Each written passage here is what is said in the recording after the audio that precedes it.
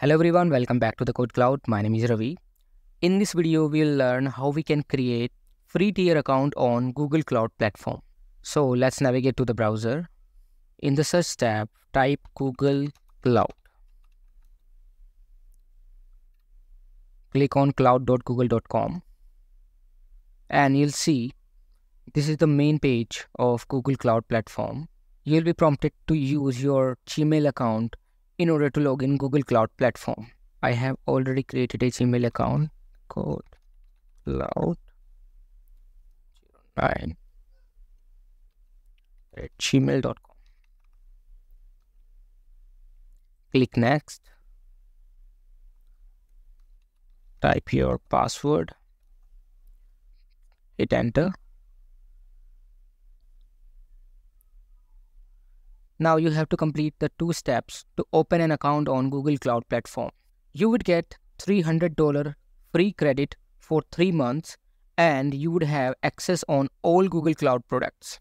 There would be no additional charges after the trial expires. If you want to read the terms and conditions, you can read and click agree and continue. In the step 2, you have to mention the account type. This is my individual account so i have made it individual rather than business. And then i have to add either credit or debit card information.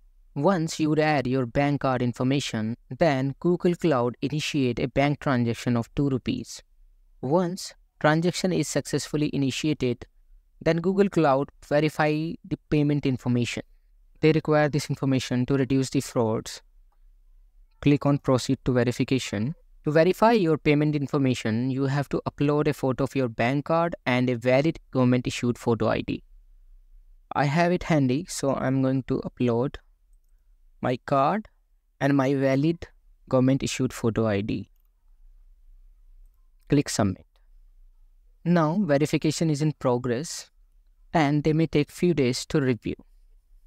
My GCP account is ready and this is the dashboard of GCP console. You can see this is first GCP project.